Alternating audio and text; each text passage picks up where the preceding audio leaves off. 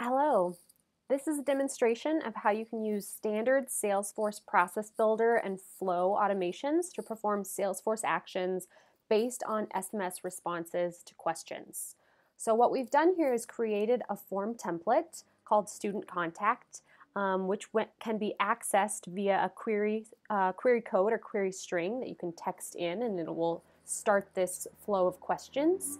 Um, and then the following questions will be asked. What's your first name? What's your last name? What's your email address? And then you'll get a response. So this is the flow of text messages that we'll go through. And once we've completed the flow, we've set up a process builder to evaluate the form, which is the group of messages, um, and see if it meets certain criteria. And if it does, then we will go ahead and fire a visual workflow which will identify the contents of the responses based on the questions and use those responses to run an automation. So the automation that we're going to show here is how to update um, some fields on a contact or lead record based on the responses to an SMS um, exchange. So we're asking again first name, last name, and email. And then what's going to happen here is once we complete this flow, my contact record, which is the phone number associated with the form that's going to come in here will be updated with, um, with the values that we input for first name, last name, and email. So I'm going to go ahead and fire this up. Um, so I will begin by just texting in connect to initiate. And if I go over into our forms record, I'll be able to see the new form that's been created. So this is going to capture question text and the responses. So first we're asking, what is your first name? I'm just going to say S. We refresh over here. We can also see S and then the next question, what's your last name? Schultz.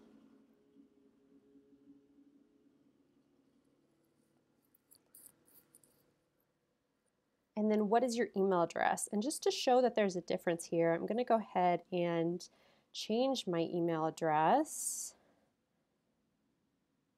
Mogli, So instead of Serena at moglisms.com, I'm adding that plus one. Push that through. I again refresh over here, you can see all of these that have come through. You can see that this is still active, so we're going to give it a second refresh again. And now you see that the status has been set to complete and that the flow has been completed.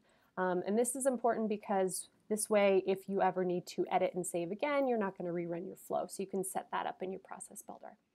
Okay, so now we're going to pop back over to our contact. Um, so this is my current contact, Serena Schultz at moglisms.com. And now if I go ahead and refresh the page, we see that these changes have been made. So it's now S Schultz and Serena plus one. And if I want to see exactly what's happened, I can look at my feed and see that the SMS guest user has changed these specific items. So now if I wasn't a contact, if I was a lead, um, this would happen in the same way. So the visual force flow is looking to find out if there are any contacts that match the phone number um, based on the phone number that is in this form here. If there aren't any, then it's going to look for the, look for a matching lead. Um, and if there aren't any leads, then it will look every minute um, until a lead is created. And Mogli SMS does automatically create a lead for you if no lead exists that matches that phone number. Um, so the great piece about this is that if you don't have a lead in the system and a new contact form comes in, um, then not only will a new lead cre created, but it will also then be populated with the name and email address uh, that was included in that form so that you no longer just have an anonymous lead, but an actual lead with a name, an email address, and a phone number. So that is just one example of a quick automation that you can do with Mogli SMS, and we look forward to showing you more.